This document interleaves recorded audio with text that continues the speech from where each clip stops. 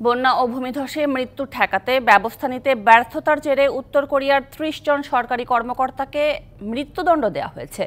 এ দুর্যোগে বিপুল প্রাণহানির জন্য দায়ী ব্যক্তিদের কঠোর শাস্তির নির্দেশ দেন দেশটির সর্বোচ্চ নেতা কিম জন উন। উত্তর কোরিয়ার এক কর্মকর্তার বরাত দিয়ে এই খবর প্রকাশ করে দক্ষিণ কোরিয়ার গণমাধ্যম চৌসুন টিভি। ওই কর্মকর্তাদের বিরুদ্ধে দুর্নীতি ও দায়িত্বে অবহেলার অভিযোগ আনা হয়েছে।